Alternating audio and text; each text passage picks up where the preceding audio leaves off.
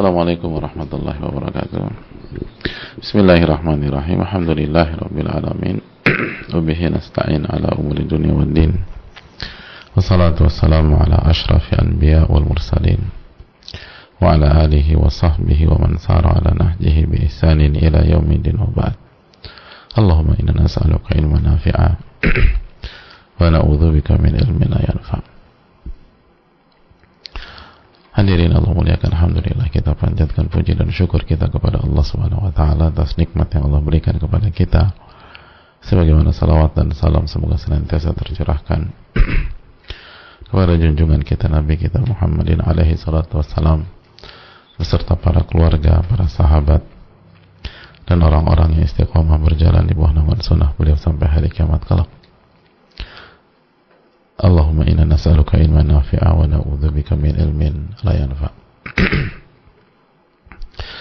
uh, hadirin Allah muliakan alhamdulillah kita bersyukur kepada Allah Subhanahu wa taala atas nikmat yang Allah berikan kepada kita sehingga kita bisa kembali bersua pada kesempatan kali ini dalam rangka bertakarrub dalam rangka kembali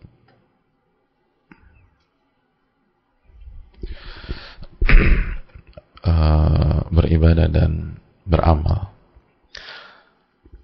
Ibadah yang sangat mulia ibadah yang bernama uh, talabul ilm menuntut ilmu yang dijelaskan oleh para ulama kita bahwa ini adalah jalan pintas menuju surga. Man salaka tariqan yaltamisu fihi ilman sahalallahu lahu bihi tariqan ilal jannah. Barang siapa yang berjalan dalam rangka menuntut ilmu maka Allah akan pintaskan jalannya menuju surga. Hadirin Allah muliakan. Dan siapa yang tidak ingin masuk surga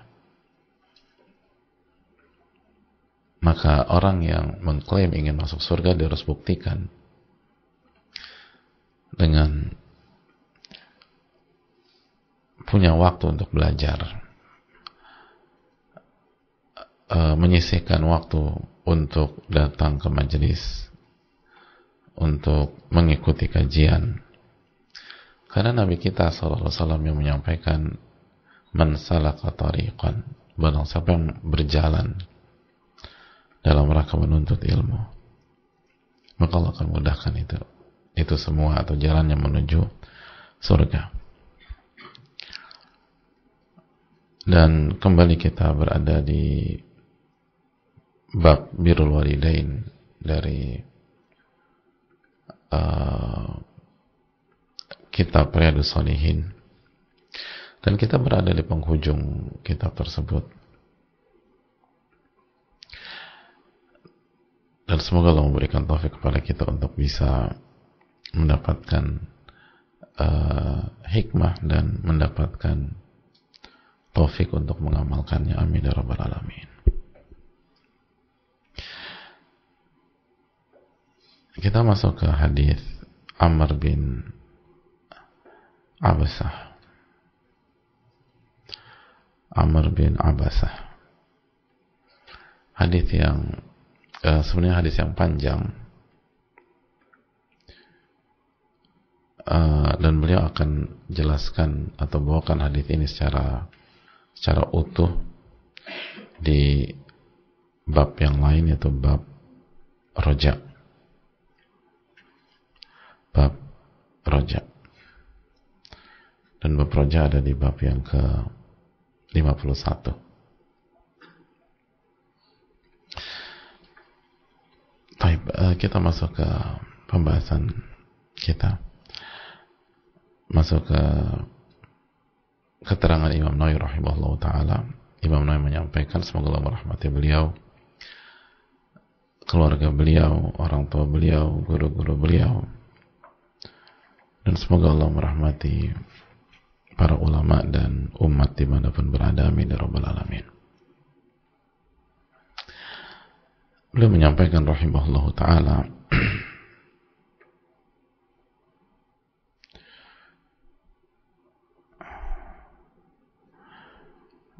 وفي, وفي الباب أحاديث كثيرة في الصحيح مشهورة dan di dalam bab ini ada uh, hadis yang banyak dalam uh, kitab sahih dan hadisnya itu masyhurah masyhur di antara hadis tersebut adalah hadis ashabil ghar. Uh, suara saya bisa terdengar dengan jelas nggak? Hmm? Nggak.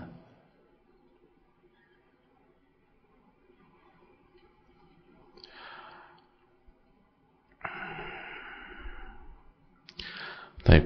Wafil wafil babi ahadithu kathira fi sahih masyhura minha hadithu ashabil ghar di antaranya adalah hadis uh, orang-orang yang uh, terperangkap dalam gua. Sekarang udah jelas. Uh. Wa hadis Jurayj dan di antaranya juga hadis Jurayj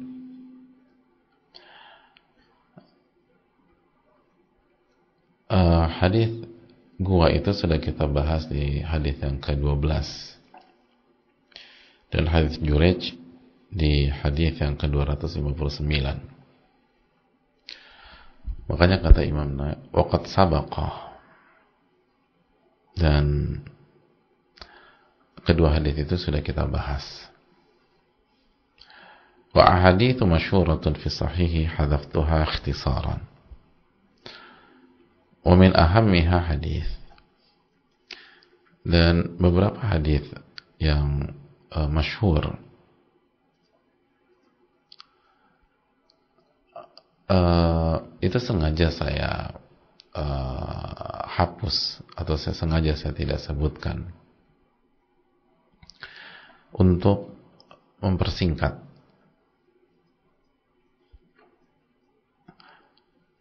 agar nggak kepanjangan gitu loh. Dan di antaranya adalah hadis Amr bin Abasah. Dan ini di antara hadis yang paling penting kata beliau. Wa min ahammiha hadis Amr bin Abasah. Di antara yang paling penting adalah hadis Amr bin Abasah. الطويل المشتمل على جمل كثيرة من قواعد الإسلام وآدابه dan hadis ini tuh hadis yang panjang dan hadis yang mengandung uh, kalimat keterangan yang banyak dari kaidah-kaidah agama dan adab-adabnya. Wa sa'adkuruhu bitamamihi insyaallah taala fi babir raja' dan aku akan jelaskan dan aku akan bawakan hadis ini secara sempurna, secara utuh di bab raja, bab harapan. Qala fi di dalam hadis itu Amr menyampaikan Dakhaltu 'ala Nabi sallallahu alaihi wasallam di Makkah yakni fi awal nubuwah Aku mendatangi Rasulullah Sallallahu Alaihi Wasallam di Makkah, tepatnya di awal-awal kenabian. Di awal awal kenabian. Jadi di awal Nabi alaihi wasallam diangkat sebagai seorang nabi kepada beliau. Ma anta? Siapa engkau? Qala Nabi. Maka Rasulullah SAW menyampaikan, saya ini Nabi. Saya ini seorang Nabi. Fakultu wa Nabi? Lalu dikejar lagi. Apa itu Nabi? Gitu. Nabi itu apa sih? Maka Nabi kita SAW menyampaikan, Arsalanillahu ta'ala Nabi itu maksudnya utusan Allah. Aku diutus oleh Allah Subhanahu wa taala. Jadi maksud Nabi itu utusan Allah. Aku ini diutus sama Allah Subhanahu wa taala. Faqultu bi ayyi syai'in arsalaka? Maka aku kembali bertanya kepada beliau sallallahu alaihi wasallam, "Bi arsalaka?"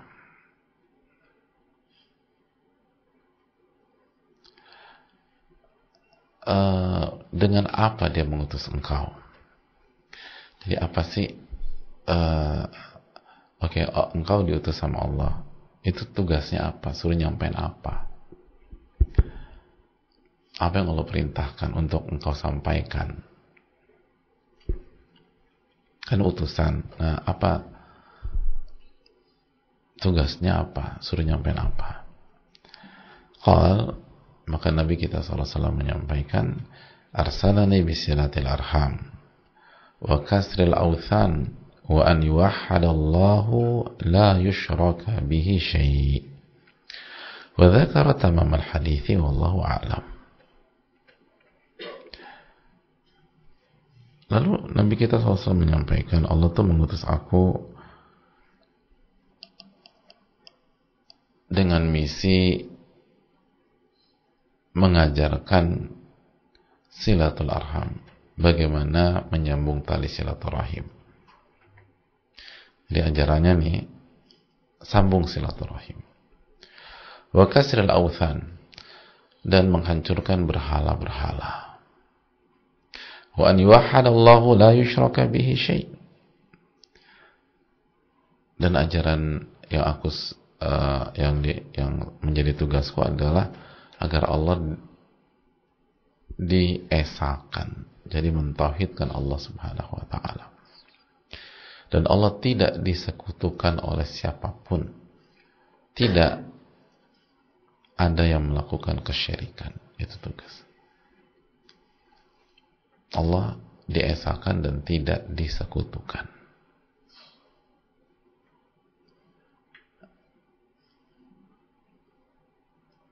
Jadi itu potongan yang dibawakan Imam Nawawi rahimahullah. Dalam hadis yang diriwayatkan Imam Muslim. Hadirin Allah muliakan. Sekali lagi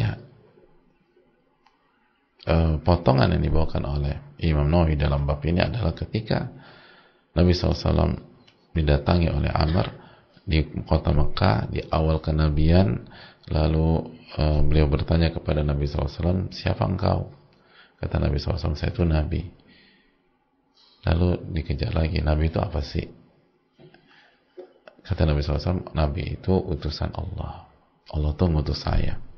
Apa tugasnya lalu Nabi SAW menjelaskan tugasnya adalah saya diutus untuk mendidik umat mengajarkan umat silatul arham menyambung tali silaturahim kasrul authan dan menghancurkan berhala dan mentauhidkan Allah Subhanahu wa taala dan tidak melakukan kesyirikan. Uh, sebuah hadis yang penting. Makanya kan kata beliau rahimahullah ini hadis penuh dengan kaidah-kaidah agama dan penuh dengan adab-adab yang indah.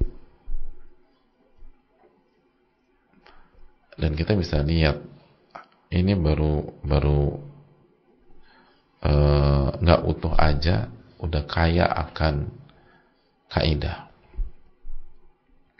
Nah pelajaran bisa kita petik dari penggalan hadis ini dijelaskan oleh para ulama bahwa dari awal itu ajaran yang dibawa oleh Rasulullah SAW itu fungsinya untuk mendekatkan hubungan manusia hablum nas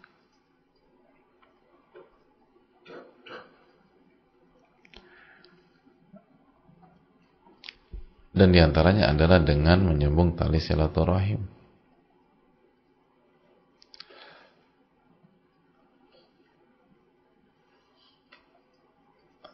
Tentu saja di atas kebenaran dan tidak menghalalkan segala cara. Gitu.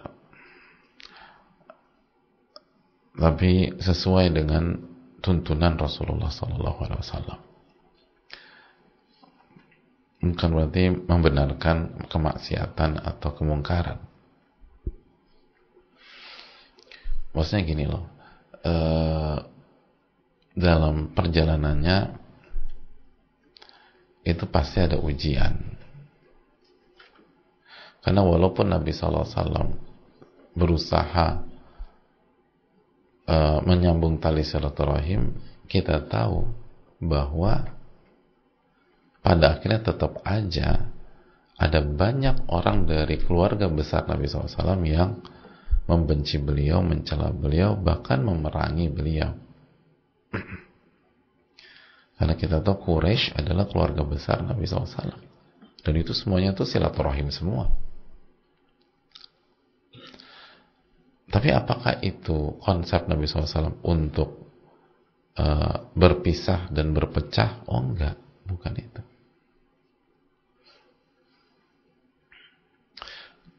Bahkan dari awal ini kan makanya keterangannya dari awal kenabian konsep berusaha mendekat lalu berusaha menyambung tali silaturahim itu sudah diupayakan. Namun kan sebagaimana hubungan dua pihak ini nggak akan berhasil kecuali ketika kedua belah pihak atau ya kedua belah pihak dari manusia itu punya kesamaan frekuensi, punya niat baik, punya etikat baik,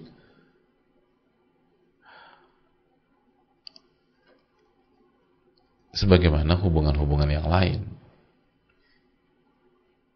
Nah, ketika terjadi uh, apa uh,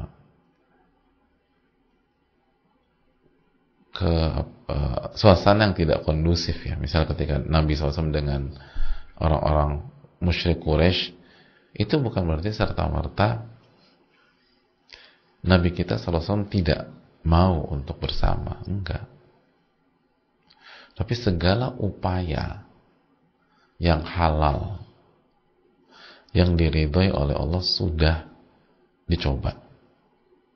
Tapi ternyata mereka tetap nggak mau gitu loh. Mereka tidak, eh, tetap tidak mau. Nah, keadaan ini perlu kita dudukkan agar tidak salah paham. Jadi Nabi SAW berusaha segala cara yang halal yang diridhoi oleh Allah gimana nih biar bisa silaturahim gitu dan kita tahu dalam hadis yang sebelumnya dalam bab ini kan Nabi sudah kasih statement wali aku ini adalah Allah lalu orang-orang beriman. Adapun dari keluargaku yang tidak beriman mereka bukan waliku. Tapi aku akan tetap berusaha silaturahim itu kan kata Nabi SAW jadi clear. Mereka mau jahat kan mau apa bagi bagi saya tetap harus silaturahim. Itu poin nah itulah yang diajarkan oleh Rasulullah SAW dan dibuktikan oleh beliau. Dibuktikan oleh beliau. Makanya kan salah satu buktinya mau mereka udah zolim kayak apa pun ke Nabi SAW, mau mereka udah jahat kayak apa pun, ketika mereka bertobat, ketika mereka masuk Islam, ketika mereka mau kembali dan memperbaiki hubungan, Nabi SAW selalu merespon positif.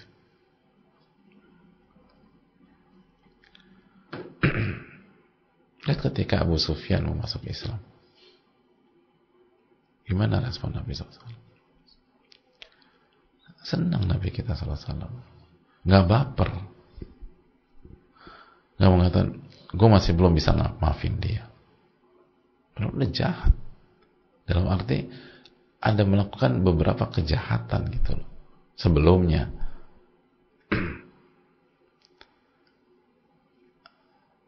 Tapi Nabi selalu buka pintu. Buka pintu. Dan bukan hanya buka pintu dari awal beliau sudah uh, aktif. Jadi bukan pasif oke okay ya aku udah buka pintu terserah kalian ya. Enggak ajak terus ajak terus ajak terus. Dan waktu yang sama pintu dibuka gitu dan itu dari awal. Makanya kan kita lihat coba kita lihat. Dan ini jelas. Ketika ditanya apa sih tugasnya? Silaturahim. Namun di waktu yang sama apa? Kasril awthan. Nah ini kan poinnya gitu loh.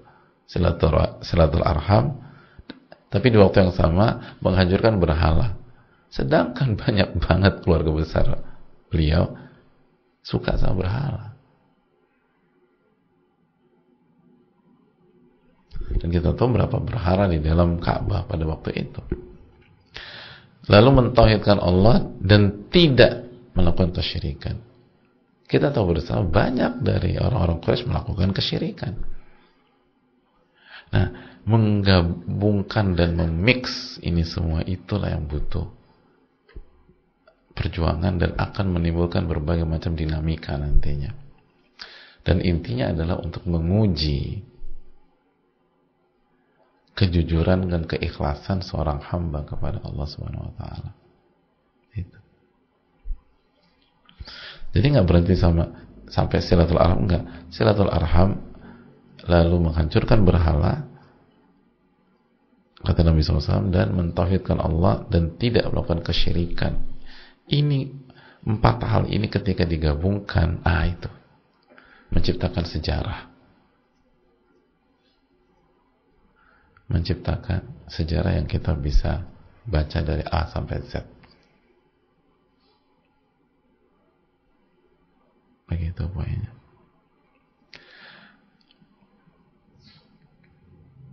Menciptakan sejarah belum dihina, belum dicaci, belum dimaki, belum diboykot dan anti klimaksnya di kota Mekah belum mau dibunuh.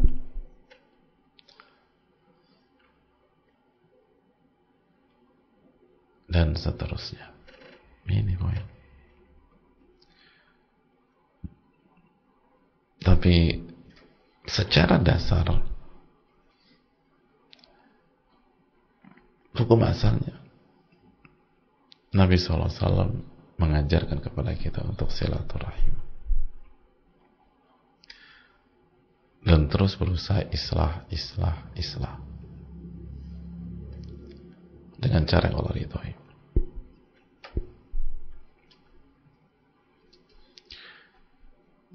Allah taala alam bisa. Saya rasa cukup sampai di sini. Insya Allah kita akan lanjutkan pada pertemuan yang akan datang. Bismillah taala.